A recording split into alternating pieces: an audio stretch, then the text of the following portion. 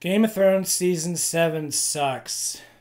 An op ed at The Verge described it as transforming into fanfiction. This is, to my mind, too much a compliment. Fanfic writers spend hours studying character motivations, mythology, relationships. They develop an encyclopedic knowledge of the original work and seek to enhance it in any way they can. And this they do not for money, but for love of the art. The writers of Game of Thrones helmed the most financially successful drama of our generation, and yet they barely seem to have even a passing understanding of why their narrative functions the way that it does. This is because they long ago ran out of source material and have for the last three seasons been stringing together a series of contextless scene descriptions given to them by George R. R. Martin. This results in a series whose first half is devoted to setting up a world, building out characters, exploring the complicated political ramifications of any action, and whose second half is primarily focused on getting to the end. The show begins as a subversive testament to the power of abandoning storytelling tropes and ends as a textbook demonstration of all of those same tropes. This has been going on since season 5. Writers unable or uninterested in finding things for characters to do simply lock those characters up for long stretches of time, making us wallow in their misery until they are allowed to do something in the season finale. Events and interactions have a perfunctory nature about them. Gone is the surprise of the siege of Blackwater Bay or the fight of the Viper in the Mountain. Instead, we get the Battle of the Bastards, a brilliantly choreographed episode that lacked any tension due to the fact that Jon Snow had already died once and simply couldn't die again, and Ramsay Bolton had long ago outstayed his welcome as Joffrey too. So none of this is new, but season 7 takes it to an incredibly insulting new level. The writers trade out ignorant misery with ignorant fan service, and in the process completely undermine the realism of the world they've spent the last six years establishing. And as we will see, this results in a season of television that isn't just bad, it deceives you into thinking that it's good. It gives you so many of the things you think you want that you're blinded to the fact that it's all just trash garbage. So strap in, friends, because Game of Thrones Season 7 sucks.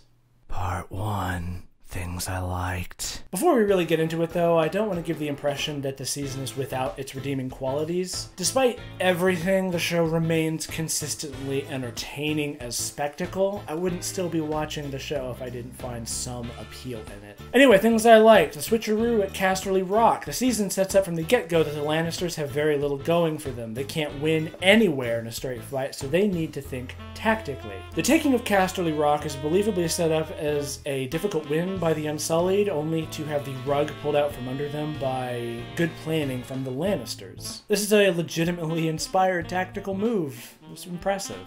Similarly, I liked that one of the dragons was killed and then converted by the Night King. The trip north of the wall was eh, and the fact that nobody really died made the whole thing feel very spineless. The loss of a dragon and the use of that firepower by the Night King is a believable consequence for a series of really bad decisions. I liked the performance of the women, particularly Cersei, Sansa, and Arya. I also liked Daenerys for most of it, but there's one particular moment which knocked her down a peg for me, which we will get to. It's not that the women have performed poorly in previous seasons, quite the opposite, in fact, but now so many of the men are dead, we simply have more time to let them shine. Cersei is slowly descending into madness in a way that is believable. Arya is wonderfully confident and competent in her home, and I love Sansa as a woman surrounded by siblings who have spent the last few years getting magical powers while she was roughing it in Littlefinger's school of political game theory. I liked the loot train attack. This was one of the few battle sequences this season that was pretty unequivocally good beside its annoying end. It's a fantastic demonstration of dragon firepower for the first time in Westeros on the show, and it's believable as a show of the limitations of dragons and the Doth- Doth- Dothraki. Although there is a large point of contention with the battle, which we'll get to later. Uh, I liked Brienne and Tormund. I liked Jim Broadbent. I liked Foreign Invasion. A foreign invasion is underway. Notice how most of the things that I liked all wound up including the term believable? That's the key to Game of Thrones. You can say all you like that it's just the wacky dragon show, but as a drama, you have to believe what you're seeing. When the belief is there, magic happens. A lot of what's wrong with this season has to do with the loss of that magic. Part 2 Armada Ex Machina. So to kick things off, let's just get the big one right out of the way. Euron Greyjoy is bad. I don't mean that he's like a bad person. I mean, as a character from start to finish, he sucks. We don't care about the Iron Islands, and we definitely don't care about some weirdo lunatic we've never heard of who just sort of wanders in all like, hey, hey, guess what, guys? I'm the new Ramsay Bolton. But Euron in a vacuum is fine. Where Euron really signals the death knell of the show's believability is in his magical armada from somewhere. It is, as he describes it, the greatest armada the world has ever seen. But wait! The last time we saw Euron, Yara and Theon had just stolen all his ships. So we ended season 6 screaming, Build me a thousand ships. and then we start a new season with the greatest armada the world has ever seen? How much time has passed? It can't have been more than a few months, right? The Iron Islands are, per their name, rocky and barren. So, okay, they had to pillage the materials from somewhere, meaning what? They had time to attack seaside towns and forests, drag those materials to the docks, and build thousands of new ships in the space of a few months? And Jon never got word of any of this? The problem here isn't necessarily that the Armada exists. I'm fine with there being an Armada, especially as it's the only real power that Cersei has in her possession. The problem is that the Armada is built off screen explicitly from nothing, and we have to take the logistics of that on faith. Normally that would be fine, but these are exactly the kinds of details that Game of Thrones used to thrive itself on. I mean, how many scenes were devoted to Tyrion planning for the invasion of King's Landing, spitballing potential outcomes? How many scenes involved Tyrion fretting over the cost of the royal wedding? How many of Robb's scenes were him dealing with the logistical impossibility of his rebellion? We believe these eventual battles or events were invested in their various players because we've spent time getting to know the intricacies of their planning. We've seen the pieces being set up, and the joy is in watching the pieces fall. There's no joy in watching a character we don't know use an armada we've never seen to surprise our protagonists out of a victory. And it's extra frustrating because they could have avoided this entire problem by having Yara and Theon only steal like two ships in season 6. They never do anything with those ships. They show up in Meereen after a battle. Thank you for the Armada. Our queen does love ships. They offer their help to Daenerys, and then all of those ships are destroyed in the space of a couple of episodes. It still sucks that Euron's original armada only existed off screen, but the window of its construction wouldn't be our concern, so we wouldn't have to think about those logistics. Part 3 Time and Distance. Alright, time for some quick geography. In episode 2, Stormborn, Euron's armada attacks and destroys Yara's fleet on their way to Dorne to deliver Ellaria Sand to her throne. Yara's fleet is leaving from Dragonstone, while Euron's fleet is intercepting from King's Landing. In episode 3, The Queen's Justice, Grey Worm and the Unsullied take Casterly Rock, only to find they've been duped and Euron's fleet shows up to destroy all of their ships. Either of these events are fine in isolation, but how much time has passed between these two episodes? Casterly Rock is on the opposite coast from Dragonstone. Euron will have to have made a weeks long journey around the entire continent to get there. There's admittedly a lot of time compression in this episode, but without an explicit timestamp, we're left confused about the physical limitations of travel. It wasn't so long ago that Brienne and Jaime spent the better part of a season walking from Riverrun to King's Landing. Now, in season 7, a character will send a raven from one side of Westeros, and the next scene will be someone else receiving it on the other side. Jon's trip to Dragonstone from Winterfell seems to take an afternoon. Jorah Mormont is laid out with grayscale in Oldtown one day, and then the next episode, he's in Dragonstone, cured as hell, and back to pining over his dear, sweet 17 year old dragon crush. There are times when I look at you and I still can't believe you're real. So I get it. We've only got so many episodes left. We need to wrap this thing up. We don't have time to wait around anymore. But this sudden compression of distance and time is jarring compared to previous seasons. I again cannot stress enough how important believability is.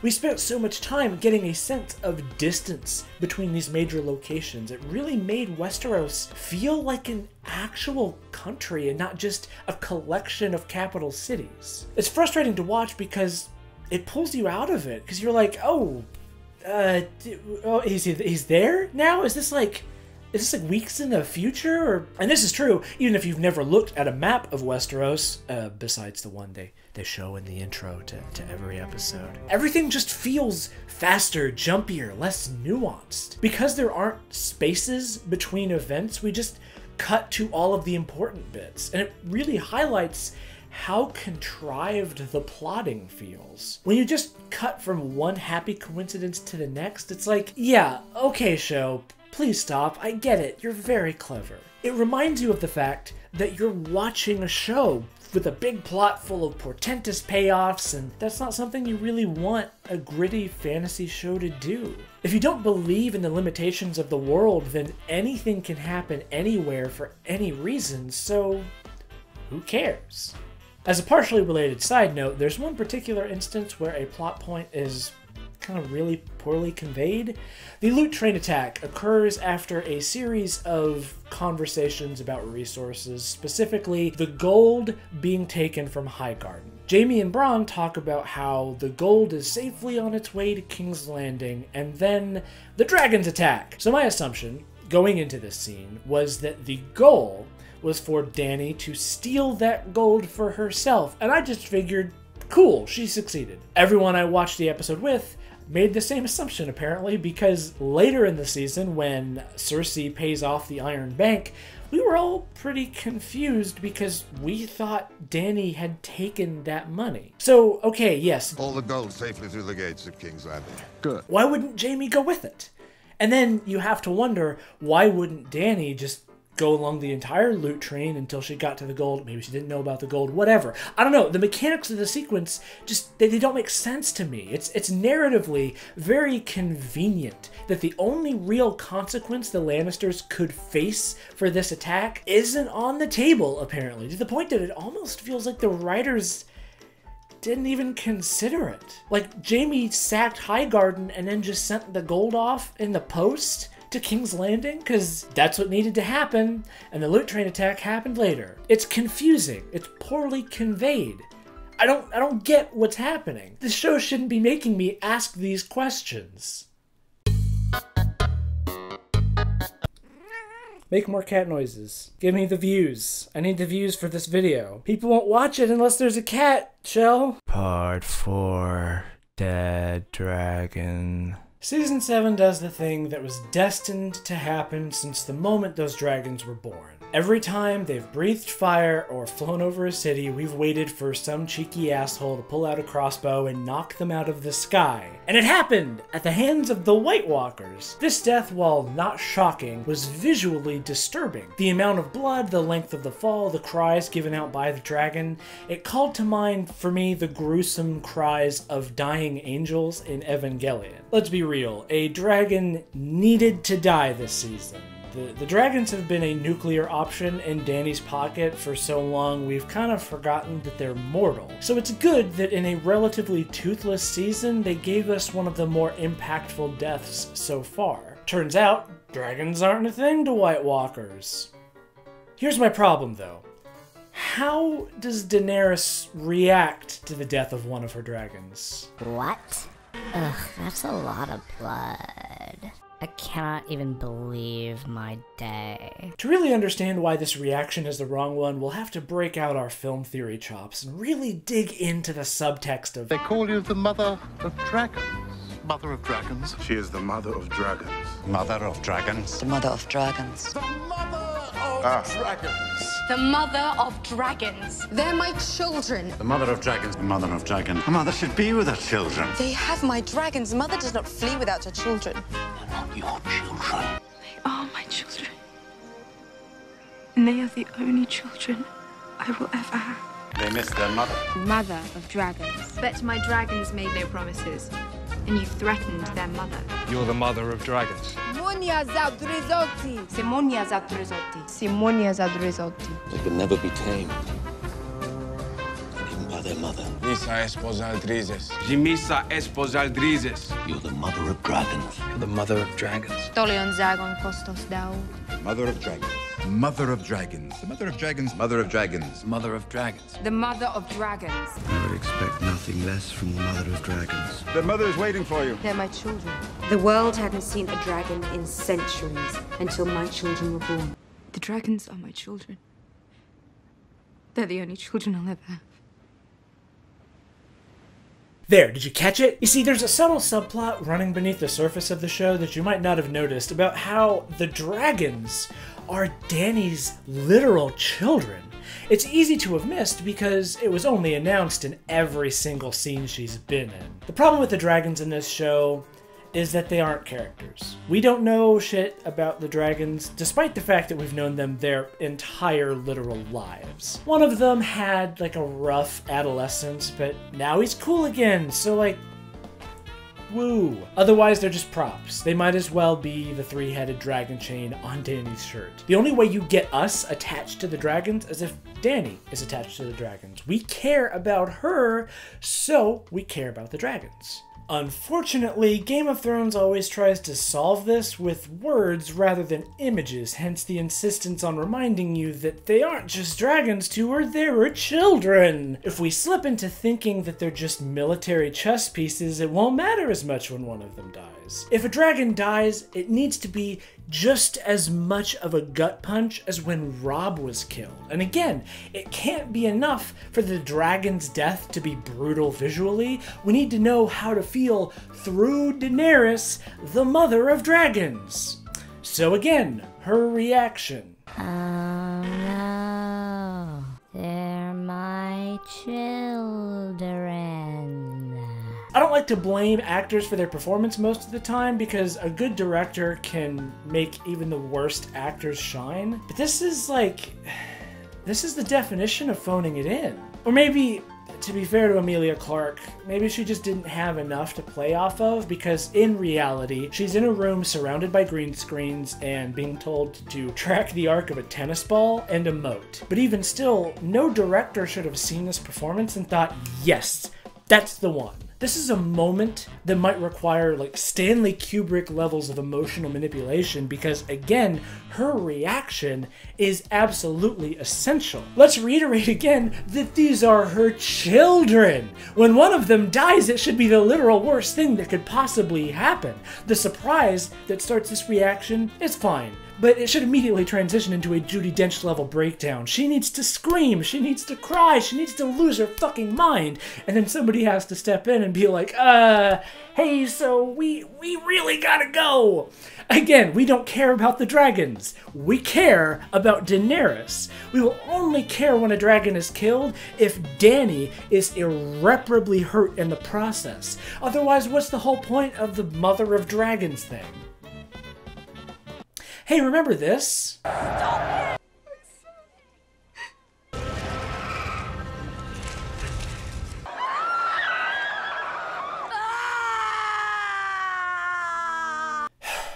This isn't quantum physics. This is just basic story structure. For an event to have meaning, it needs to impact characters. Cersei was changed by the death of her children. Jaime was changed by his time in captivity. It's not enough for Jaime to lose his hand, he has to regret that loss and feel the consequences, which he does constantly. While Arya's abilities are more or less unearned in my opinion, at least when she's back in Westeros, she feels like a fundamentally different person than she was when she left left. Dany is hurt by the death of Drogo. Everyone is hurt by the Red Wedding. Renly's death changes the field of war. I'm listing all of these examples because this is a huge part of why the show was so good for so long. It wasn't just that fucked up things would happen, it's that we then got to live in the aftermath of those fucked up things and see how people grew and changed as a result. Compare that to the sudden appearance of Rickon before the Battle of the Bastards,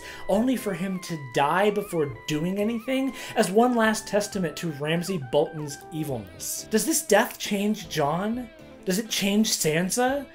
Do they even talk about losing him more than the once? Do they talk to Arya or Bran about losing him? Rickon was just set dressing for a tensionless battle, and his death, before it even began, actually made that battle less interesting because the only real question going in was whether Rickon would live or die. It felt like the writers just used the opportunity to tie off a loose end. What about Jorah's grayscale? In practice, it was just an artificial threat to his character. It didn't really affect him emotionally when he had it, except feeling like he was gonna die soon, which all of the characters feel anyway. And then he got it cured without having to make any kind of sacrifice. When he returns to Dragonstone, he's the same character he was when he left Dany's side. Or look at Sam, whose time at the Citadel may have been spent learning a great deal, but never growing as a person. He gets as fed up with this newly introduced invented skeptics ballroom as quickly as we do, so he steals the season 8 script and then leaves. He's no different as a person than he was before. He's not wiser, he's not hardened, he's just decided that he was right about everything in the first place, and he was wasting his time in O Town. Hey, that's kind of funny, Sam. I felt the same way. This is a trend which has become especially pronounced since season 5. Events happen because they need to, and then they're forgotten. Sansa's marriage to and rape by Ramsay Bolton isn't just an annoying plot development, it's boring. Sansa's arc over the first four seasons is that she's peddled around as a political chess piece, she's abused, and then she learns about the great game. Then comes season 5, she's peddled as a political chess piece, she's abused, and she learns again about the great game. It doesn't matter if these kinds of political marriages happened all the time in actual medieval history. We've seen this story before. Remember, this is a fiction. It's like the writers didn't know what to do with Sansa, so they just backpedaled her to day one and then reenacted her entire plot. The fact that she's treated worse by Ramsay doesn't give us any new knowledge about Sansa, and the fact that she's more bitter isn't that much different from how she would have been had that plot never taken place. The death of a dragon was incredibly predictable, but that has never stopped the show from being devastating. Every time I watch the Battle of the Mountain and the Viper, I go into it knowing exactly what will happen, but it's still an incredibly tense, edge of your seat fight. That may be one of the best fight scenes ever put to film. It doesn't matter that you know what's coming because it tells a compelling, self contained narrative. It plays with the power dynamics of arrogance and pure brute strength. Each fighter gains and loses ground in different ways. When Oberyn dies, it's because of his hubris and it comes as a visceral shock. We not only see his pain, but we see Ellaria's pain. We see Tyrion's frustration. It's just it's so good. There's so much emotion conveyed in this short little scene. Even if we saw it coming from a mile away, they could have given this death an unexpected gut punch by showing the faces of people who have both just seen dragons to actually exist and then seen one of them die. That's like seeing a unicorn only to watch it get run over by a semi truck. You wouldn't react to that sight like this. Ugh.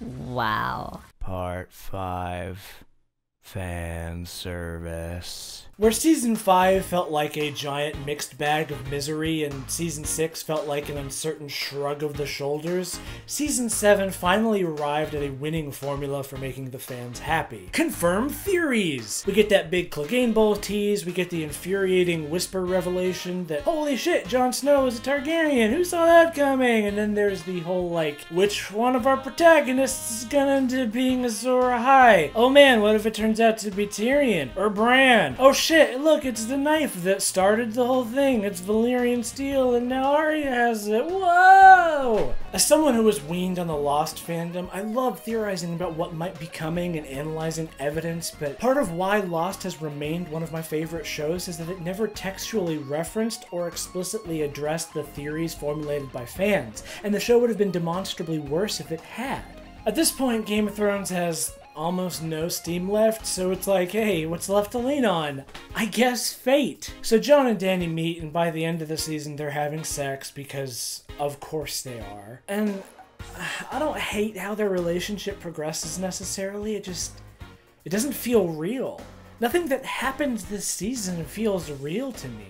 It feels like hasty fan fiction. It's like, hey, we haven't had Tyrion and Jon in the same room in a while. I guess uh, how's that conversation gonna go? Hey, we haven't had Jon and Theon in the same room, or like Jaime and Brienne or Gendry with anyone. It's been so long! And on paper, that should be great. One of the things I love most in television is the collision of characters we've never seen interact before or haven't in a long time. But all of this just feels like a performance to me. Like in the journey north of the wall to capture a white, it's ostensibly really cool because it's a gaggle of characters we've never seen in the same room before. But in practice, all that happens is two characters pair off, step away from the group, and then they talk. Mance Rayder was a great man. Still mad She at wanted to boy. kill me. Proud Never man. Come back to us. But they wouldn't kill me. It's like, what does Tormund think about this conversation? He's right there. It's like they crammed all of the meetings into one season so they could just hit the ground running in the final episodes, which I guess is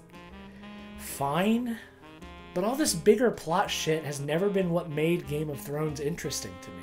See, while Game of Thrones is ostensibly this silly dragon show with a zombie army and dudes in weird costumes, the magical elements of the world were always shown to be in recession and nearly inaccessible to most people. This aided the establishment of the believability I've hammered on about.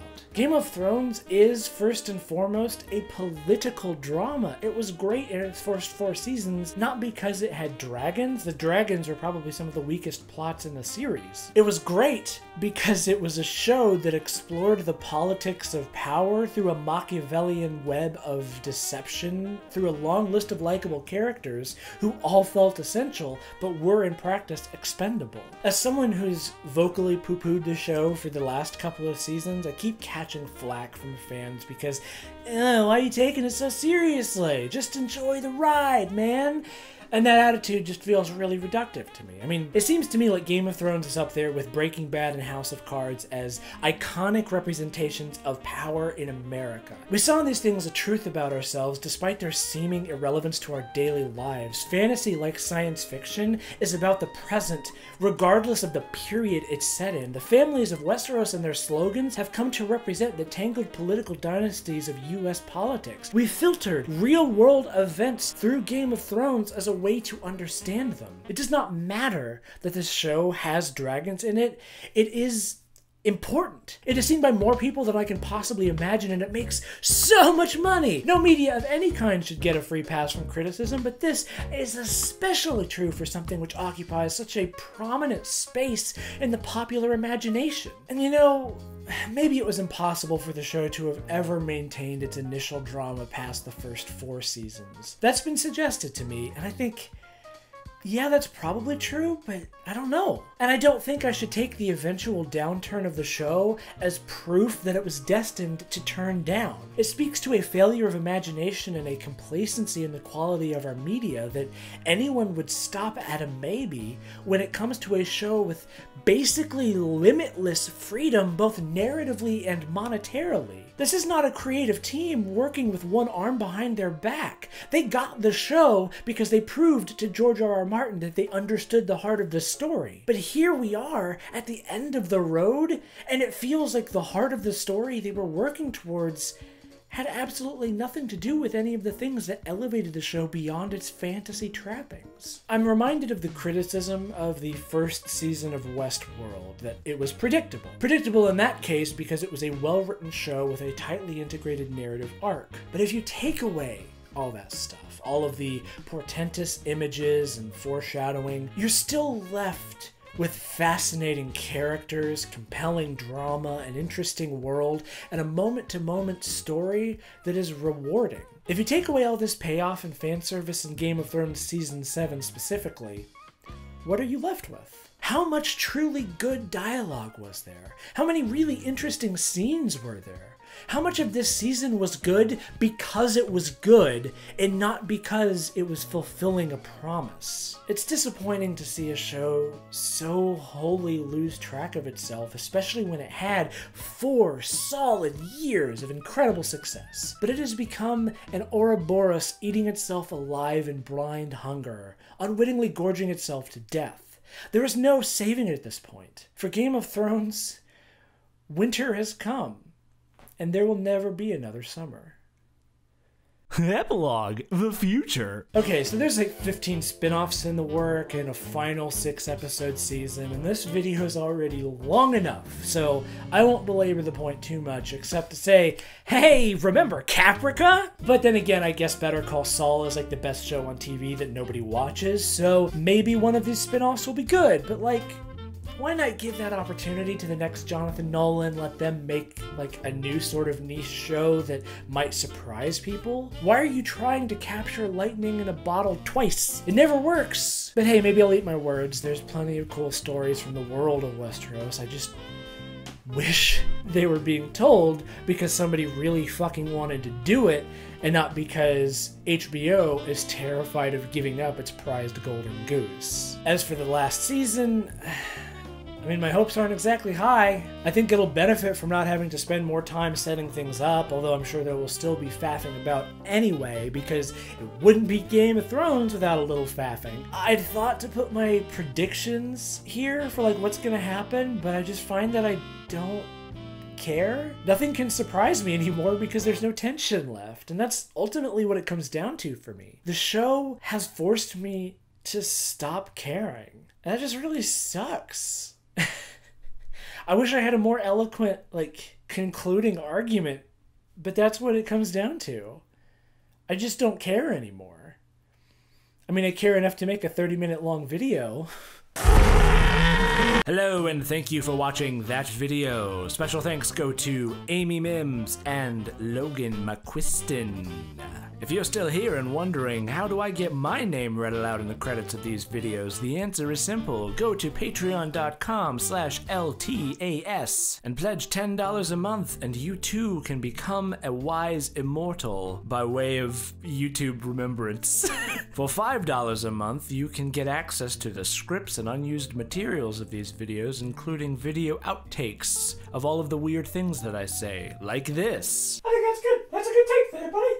Oh! I'm also on Twitter at HMSNoFun. You can follow me there and hear me tweet about things that don't matter. If you liked this video, please share it with your friends. Spread it like a virus. And hey, what did you think about Game of Thrones Season 7? Do you think I'm completely wrong? If so, fucking don't tell me because I'm very self conscious about my opinions and leave me alone, please. Fuck off, me, you pretentious loser.